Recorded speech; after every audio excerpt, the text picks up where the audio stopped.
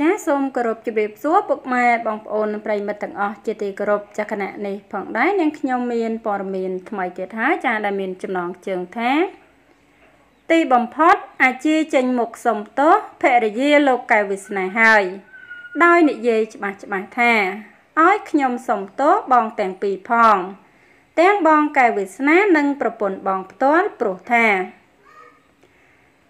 ចានាប៉ុន្មាននាទីមុននេះនាថ្ងៃទី18ខែកញ្ញាឆ្នាំ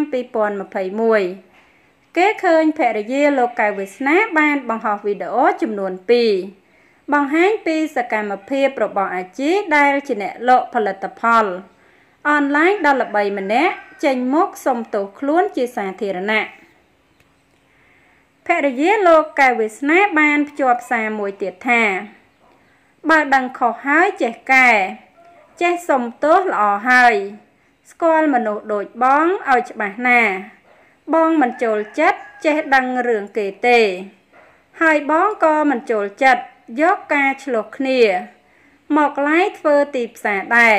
បងរកស៊ីដោយសេចក្តីថ្លៃថ្នូររបស់បងលឹមសកុនធីរី ក្នុងវីដេអូអាជីនិយាយថាឲ្យខ្ញុំសុំទោសបងទាំងពីរ ផងទាំងបងកែវាសនានិងប្រពន្ធបងផ្ទាល់ព្រោះថាខ្ញុំអត់បានយកបង មកធ្វើប្រធានបទអីទេគ្រាន់តែពេលហ្នឹងសារព័ត៌មានធ្វើការចុះបំភ្លើសខ្ញុំគ្រាន់តែឃើញសារព័ត៌មាននឹងហើយខ្ញុំស្មានតែបងទាំងពីរធ្វើការផុសអញ្ចឹងមែនអញ្ចឹងឲ្យប្អូនសុំទោស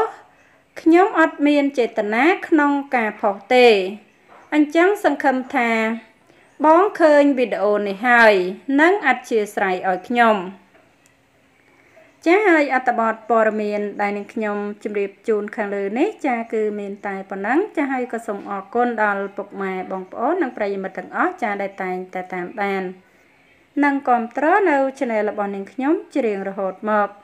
ចាហើយសូមបងប្អូនកុំភ្លេចជួយចុច Subscribe និងរូបកណ្ដឹងម្នាក់មួយផងដើម្បីទទួលបានព័ត៌មានថ្មីៗជាបន្តទៀតចាសូមអរគុណសូមជម្រាបលា